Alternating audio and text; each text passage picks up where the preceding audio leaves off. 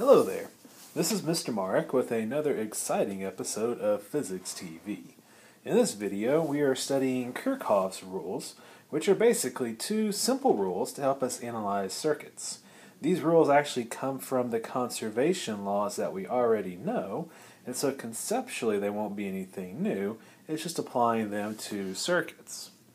The first of Kirchhoff's rule is, rules is referred to as the junction rule which basically states that the current that enters a junction must equal the current leaving the junction.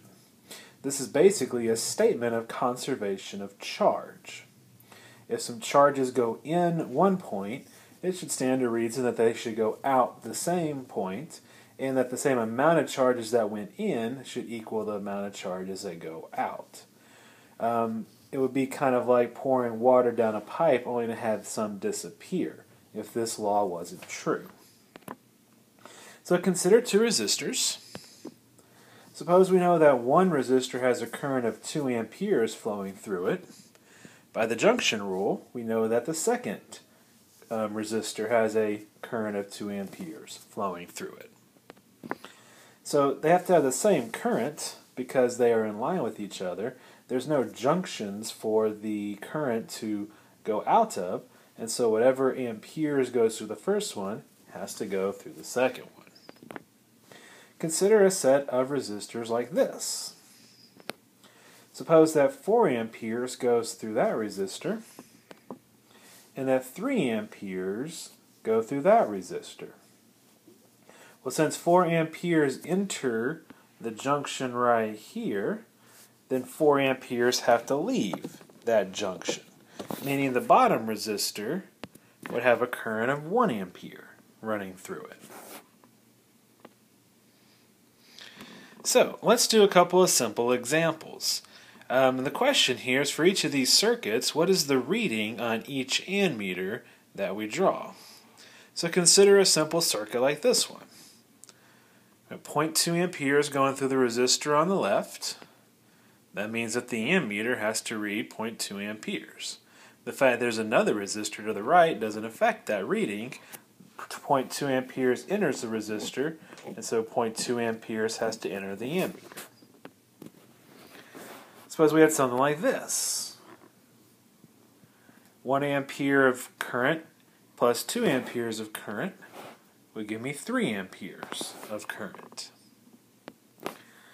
Let's look at a slightly more complicated example.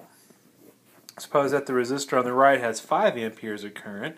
The resistor on the bottom has 1 amperes of current. Well, in order to add something to 1 to get 5, that current has to be 4 amperes. Suppose we had this complicated circuit where we had three resistors whose currents all come together like this. 3 amperes plus 3 amperes plus 3 amperes will be 9 amperes. Let's suppose we took a very similar circuit, but we added a branch before we got to the ammeter, and that we measured 2 amperes of current are going through that bottom resistor. The reading on the ammeter would now be 7. Originally there were 9 amperes of current. Two are missing because they had another junction they could leave through, and so 7 are left over. At that point right there, there's still 9 amperes of current. It's before the current has split at that junction.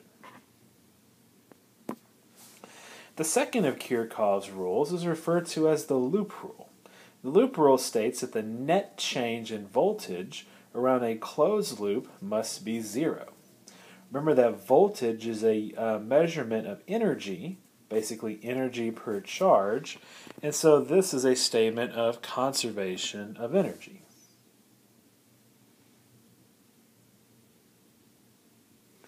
And so the loop rule is simply a consequence of the fact that those charges won't gain or lose energy other than the things that cause a voltage change. And so energy's got to be conserved, and the loop rule has to be true. Charges gain energy whenever they move through a battery. So the delta V is positive. Charges lose energy whenever they move through a resistor Remember that resistors convert that energy to thermal energy. They get hot, in other words. So delta V moving through a resistor is negative. So suppose we have this circuit like this, and I know that the battery has a voltage of 20 volts. Correctly, we should label that as delta V equals 20 volts. What that means is that every coulomb of charge that comes through the battery will gain one joule of energy from the battery. Excuse me, that should be 20 joules of energy.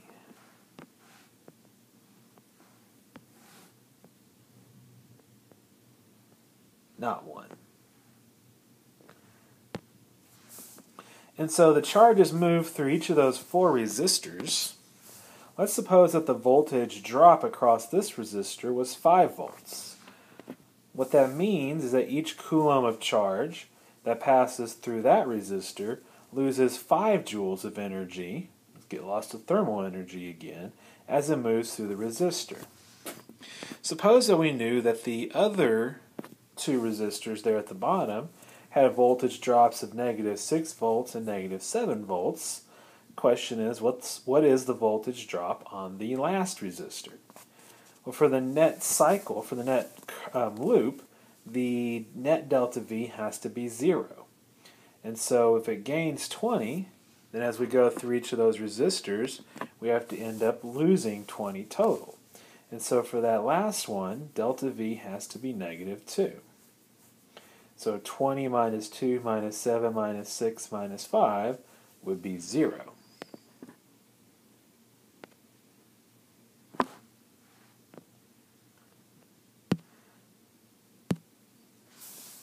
So to kind of understand what the loop rule is all about, imagine that you have a charge that begins inside the battery. So in other words, it begins right there. As it goes through the battery, the battery gives it 20 joules of energy per each coulomb of charge. Doesn't matter how many charges there are, we just know that each coulomb will get 20 joules. Now each time it goes through a resistor, it's going to lose some energy to thermal energy. So through the first one, it'll lose 2 joules per coulomb. Through the second one, it'll lose 7 Through the next one it'll lose 6, Through the last one it'll lose 5. So the net energy lost for the loop is 20 joules per coulomb. So by the time we get back to the other side of the battery, like right here, all that energy that we gained from the battery has been lost to thermal energy moving through the resistors. So for the entire loop, the net delta V is 0.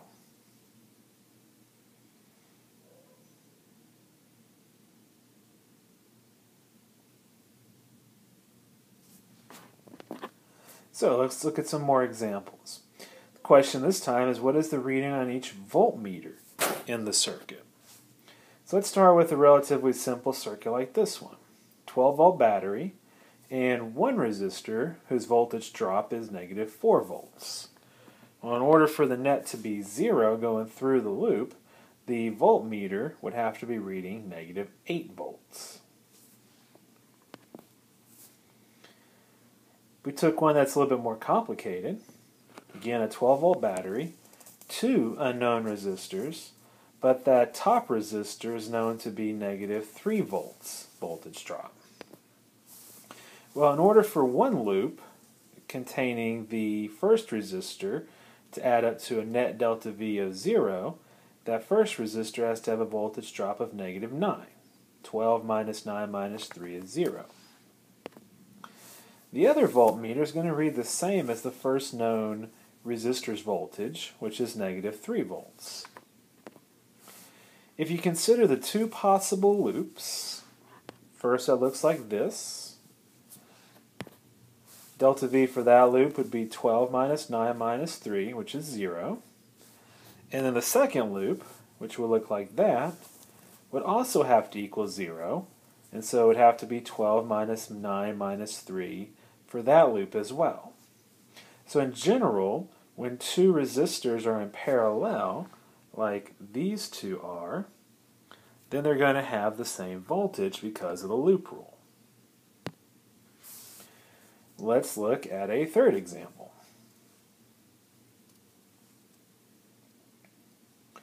If we consider one path that looks like this, then our net voltage needs to be 20 minus 8 minus 4 plus the unknown, and that has to add up to 0. Then solving for our unknown would give us negative 8. So 20 minus 8 minus 4 minus 8 would equal to 0. Going through the second path, that would look like that we would have just the one resistor after the first one. And so our net voltage would be 20 minus 8 plus the unknown equals 0. And so in this case, our unknown has to be negative 12 volts.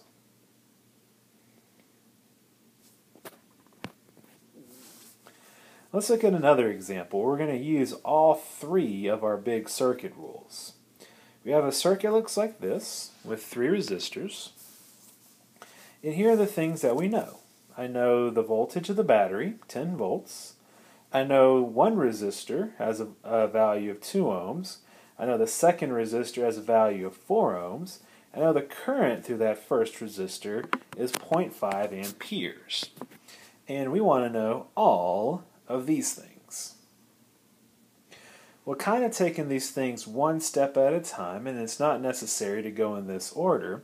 But the first thing that I would do is realize that the junction rule applies since each of these resistors is part of the same loop of um, current.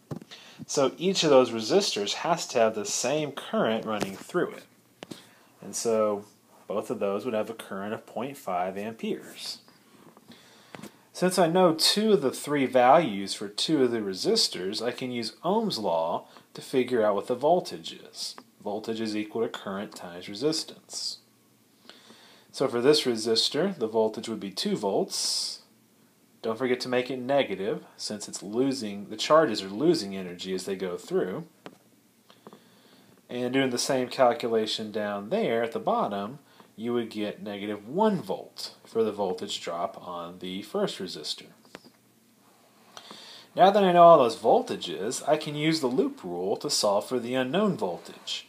I know that the net voltage change for the loop has to be zero. And so solving for that delta V, I would get negative 7 volts. Finally, I've got one unknown left, and I can use Ohm's law to figure out, figure out what that missing resistance is. So since R is V over I, dividing the 7 volts by 0.5 amperes would give me a value of 14 ohms. One thing to note here that the current is the same for all of them, but it took the most energy to move through the 14 ohm resistor.